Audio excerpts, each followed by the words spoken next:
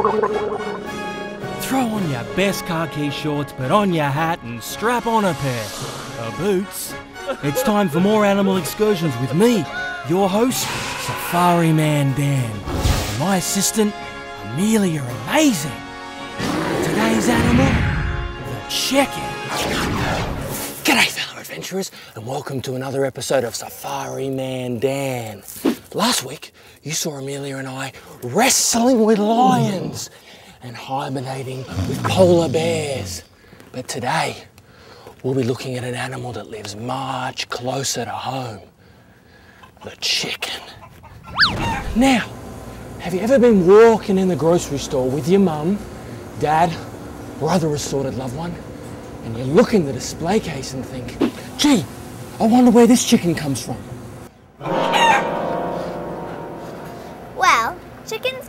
Farms, and today we're going to take a look at how a chicken goes from being an egg to a full-grown chicken ready for the supermarket. First thing you need to know is that there are different types of chicken farms. Some farms raise chickens to lay eggs, and other farms grow chicken for their meat. A chicken grown for its meat is called a broiler chicken. An egg used to hatch a broiler chicken comes from a farm that has broiler breeders, where there are roosters, or boy chickens, and hens, girl chickens. A hen will lay up to 150 eggs in her lifetime, but only fertilized eggs will hatch. Eggs can only be fertilized if roosters and hens mate.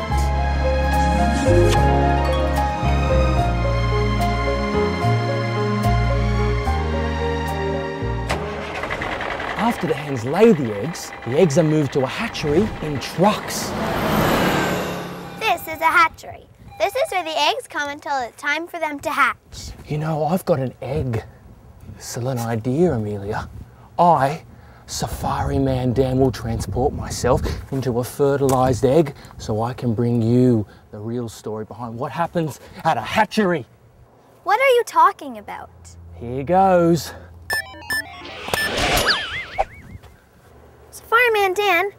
Really in there? Yes, Amelia, I'm here in the egg. It's pretty dark in here and gooey, but I'm ready to go. Where to first? Well, let's go to the hatchery and find out. Only the best eggs are chosen to be hatched. They must be clean, have no cracks, and be evenly sized. They are placed on trays large side up and moved into an incubator. I tell you, it sure is toasty in here. That's because eggs have to be kept nice and warm so that the fertilized eggs will grow into chicks. Now that I'm in the incubator, how long do I have until this egg hatches and I can get out of here? Well, you'll be in the incubator for about 18 days. The eggs are turned every hour to keep the chicks as safe as possible.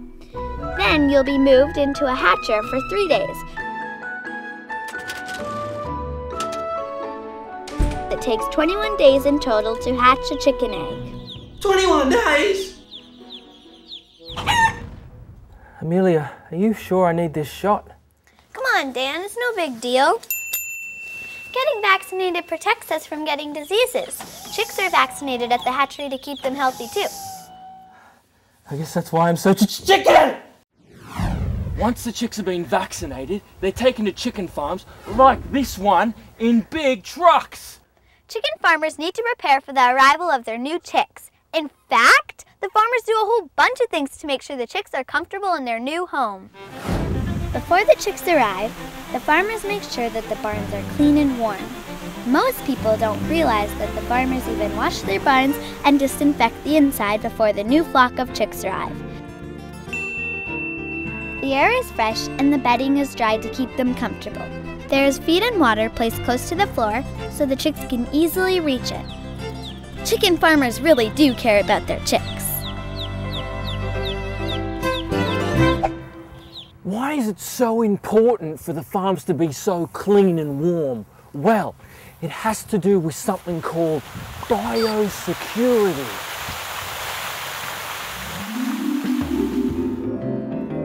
Means that farmers do everything they can to keep their chickens healthy.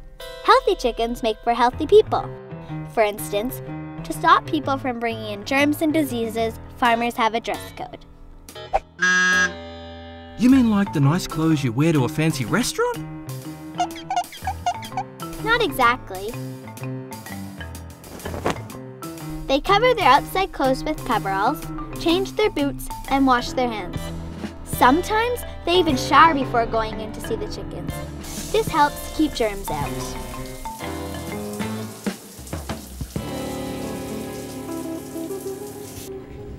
Nowadays, farmers use computers to make sure their chickens are in the safest conditions possible.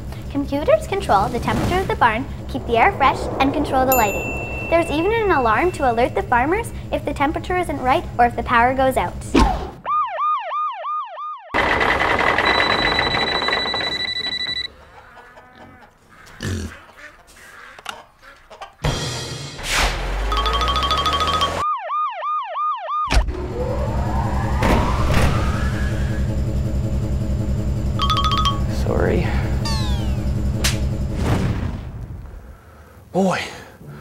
This learning has made me hungry.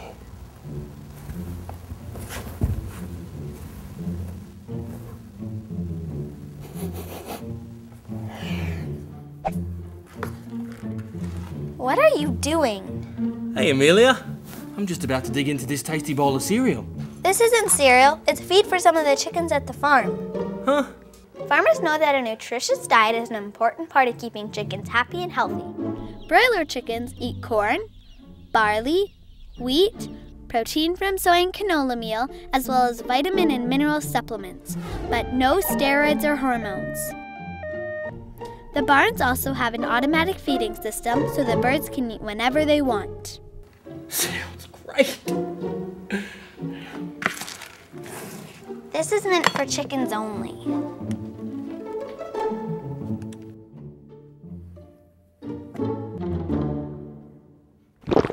Farmers also make sure the chickens always have fresh, clean water to drink.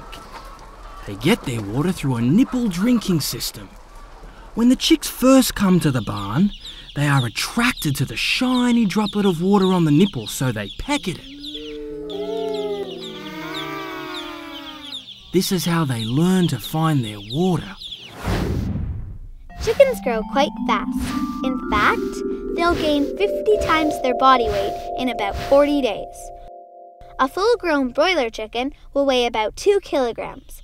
In total, farmers will have a flock of chickens on their farm for about 5 to 6 weeks. Once fully grown, these chickens will be trucked from the farm and become part of a healthy diet. Just like these chickens need to eat barley, corn, or wheat to feed their bodies and keep them healthy, we rely on them as part of our diet.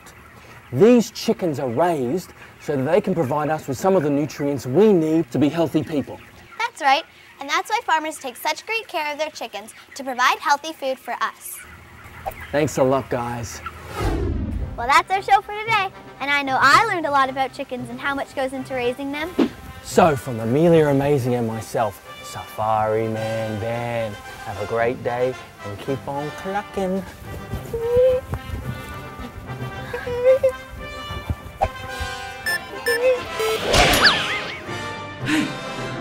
Wait! No more bad jokes, I promise. Come back.